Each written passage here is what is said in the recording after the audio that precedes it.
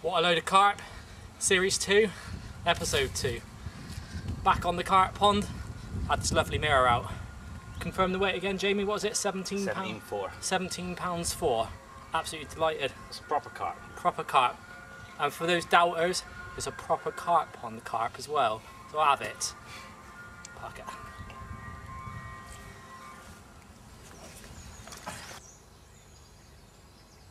Okay, so here we are on morning two of my two night session on the carp pond.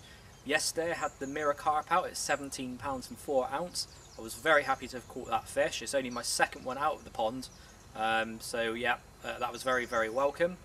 Uh, I'll be honest, I don't have much luck here, so I thought that was going to be it. But I stuck it out for another night and kept going and kept persisting.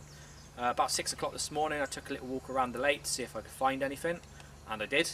Um, I seen five or six nice sized carp swimming around and um, I thought I had to take advantage of it. So um, I loaded up my bait boat, took out some free offerings with my rig, dumped it down, and about an hour later I had a new PB. Brilliant. Over the moon. It's um, 24 pounds and one ounce. Again, it's another mirror carp, and let's get it in the retainer so you can have a look.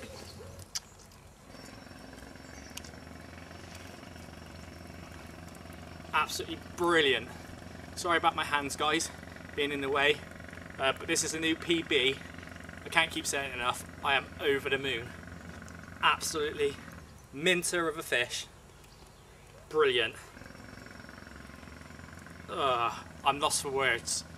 Absolutely lost for words. Let's get her around the other side.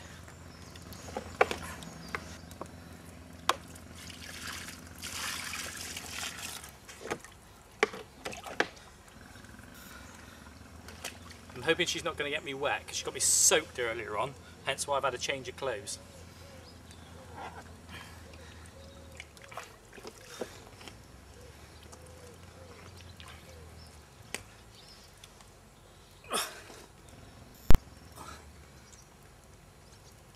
Absolutely pucker.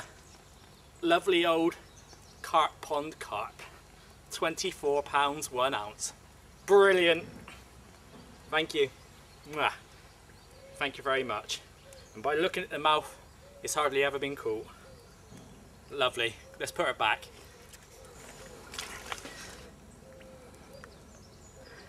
Absolutely lovely fish.